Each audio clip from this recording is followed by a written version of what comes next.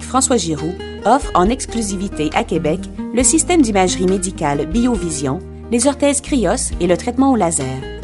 La clinique abrite quatre salles de traitement et une salle d'examen biomécanique et d'analyse posturale où les docteurs François Giroux et Caroline Guimont prodiguent les meilleurs soins que la médecine moderne peut offrir. Plus de 9500 patients font état de la confiance qui leur est accordée depuis maintenant 10 ans.